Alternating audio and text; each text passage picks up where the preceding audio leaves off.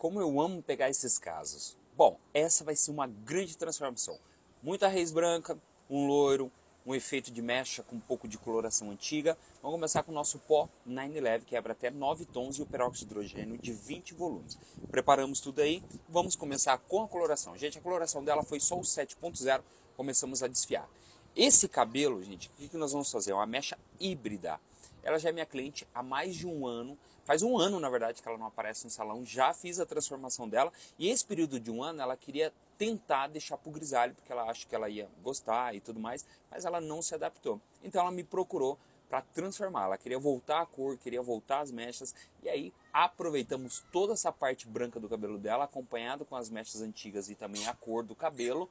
E aí sim faço o trabalho de mechas híbrida. O que é mechas híbrida, gente? É duas técnicas em uma.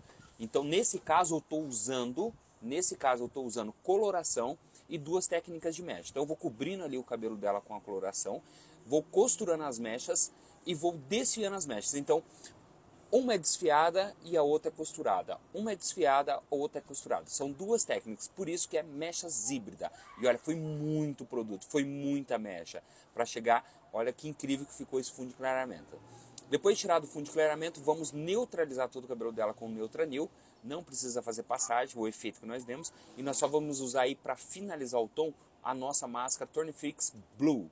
Isso mesmo pode adquirir através das nossas redes sociais, aí nos links com o distribuidor e também no site a linha Home Care e profissional com os nossos distribuidores. Então começa tirando todo o comprimento dela. A princípio parece estar meio escuro o cabelo dela, né? vocês vão ver a diferença desse cabelo todo escovado. Então combinamos ali o comprimento que ia ser o cabelo dela, vou tirando, realinhando, ela queria tirar só uns três dedos no máximo do cabelo dela, levemente vou desconectando as pontas do cabelo dela para criar encaixe isso fica muito bom o cabelo dela. Vocês vão ver a diferença que ela ficou. Um leve degradê frontal, do outro lado a mesma coisa.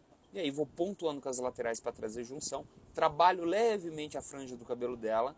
Vocês vão ver a diferença, gente. Ficou maravilhoso. Eu amei, sem contar que ela é uma simpatia com doce. Olha só o resultado, gente. Olha a parte de trás do cabelo dela. Agora vocês vão ver.